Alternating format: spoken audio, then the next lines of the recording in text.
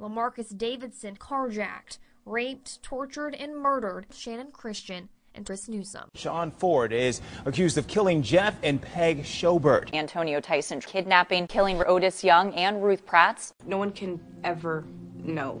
Yeah, I I understand. I do care about showing you off as my wife. The truth, Amy. We've been married for five years. Tell me the truth. You broke us. Amy! Amy! Slept with someone at the conference. From your office? Oh, wow, that is. Well, that's classy. I'm Brad. Hi, I'm Sarah. Nice to meet you. nice to meet you. Don't you ever mess with my wife again. I need you to get here now. I can't stay here all day and just monitor things.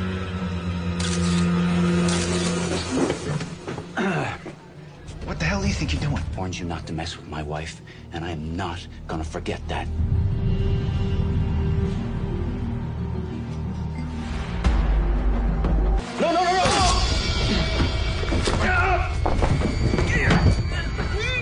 Under arrest for the murder of Miguel Diaz.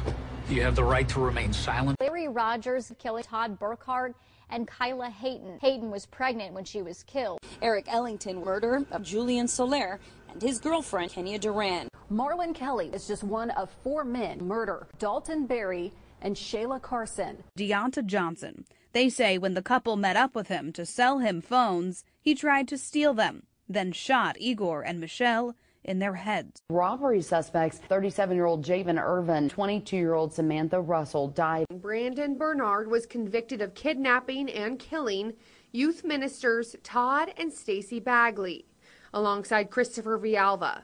Kenneth Chisholm was arrested last night in Walterboro. He's charged in the murders of 46 year old Philip Miller, 52 year old Lori Miller, and 13 year old Vincent Miller. And 25 year old Dominique Benson are charged with first degree murder in the deaths of Joseph and Olga Connell.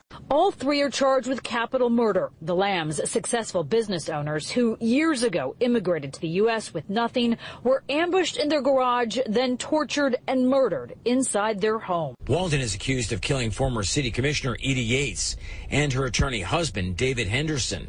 The alleged gunman, Sheldon Francis, 29 of Middletown, Delaware, 86 year old Paul Marino, and 85 year old Lydia Marino died after being shot.